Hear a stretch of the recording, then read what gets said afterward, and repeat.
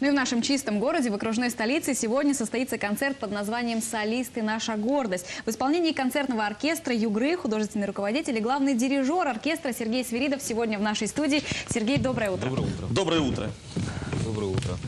Расскажите об этом проекте, чья, и, чья это идея и в чем особенность этого проекта. Ну, так скажем, для Югры это идея моя, а вообще это давно уже принято в наших крупных столицах, в Москве, в Санкт-Петербурге. Э, Это такая хорошая практика для музыкантов, которые работают в оркестре. Э, Солисты наша гордость имеется в виду, что вот человек все время сидит в оркестре, постоянно играет, а его не видно и не слышно, как вот отдельный солирующий инструмент. И вообще публике было бы интересно представить разные инструменты и показать людей, которые делают для них музыку каждый месяц, каждый год на, на наших сценах югорских. Вот. И мне такая идея пришла в голову, я решил показать эту программу здесь, в Югре. Сергей, но речь идет о солистах-инструменталистах. Только инструменталистах, да. Кто эти люди? Может быть, назовем имена? Да, безусловно. Сегодня мы услышим э, Анастасию Чугайнову, студентка колледжа-интерната Центра искусств для одаренных детей Севера. Она скрипачка, очень талантливая девочка. Э, Это Олег Боровков, небезызвестный нам всем саксофонист э, Ханты-Мансийска и лучший саксофонист Югры, на мой взгляд. Это музыканты оркестра Андрей Вайгант, Владимир Авдиянцев, это кларнетисты.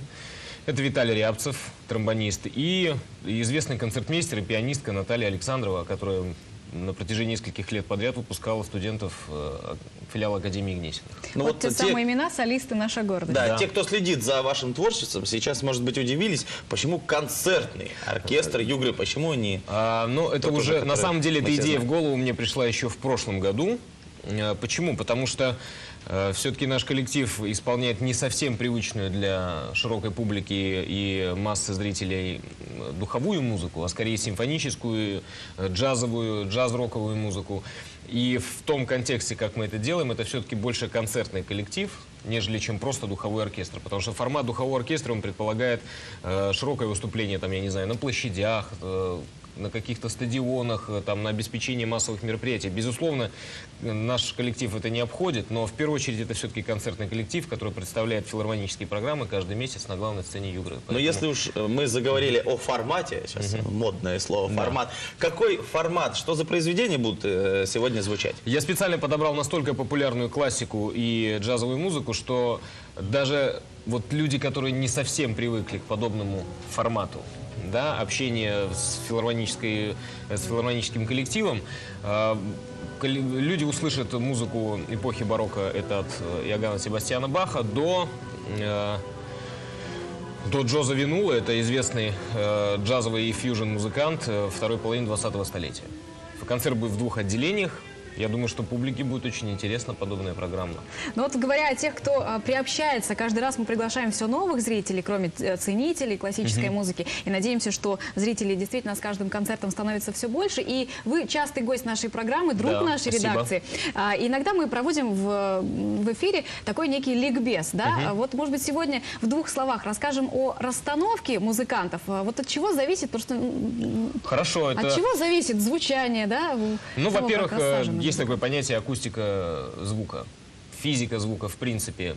Э, Значит, чем больше коллектив, ну, в данном случае Так. берем непосредственно наш коллектив, э, оркестра Югры, э, чем больше он становится, я начинаю выбирать тот баланс звука, который мне нужен как дирижеру для того, чтобы преподнести звуковую картинку в зал.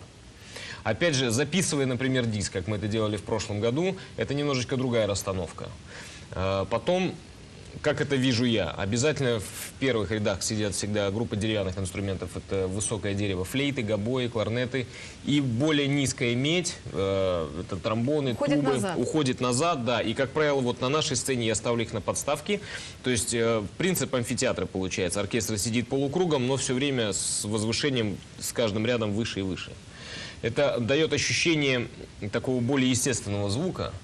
Опять же, я говорю, все зависит от площадки. Приезжая, например, в какой-то другой город, либо в нашем регионе, либо выезжая за пределы, нужно выбирать э, точку опоры именно акустическую, то есть в зависимости от э, размеров зала. И каждый раз вы меняете вот эту расстановку? Н- Не скажу, что прям принципиально меняю. Но, например, уровень посадки, либо я всех сажаю в один уровень, либо начинаю поднимать, либо поднимать очень высоко, либо расставлять очень широко музыкантов друг от друга, либо как можно плотнее и ближе. Это зависит, опять же, все напрямую только от акустики. Но сегодня музыкальная картинка будет на высшем уровне. Да, потому что мы все-таки выступаем на главной сцене Югры, И конечно. эффект звука будет Да, потрясающим. безусловно. Всех приглашаем в Югра Классик сегодня в 19.00. Сегодня в 19.00 ждем наших слушателей, зрителей и любителей нашего творчества на новой программе.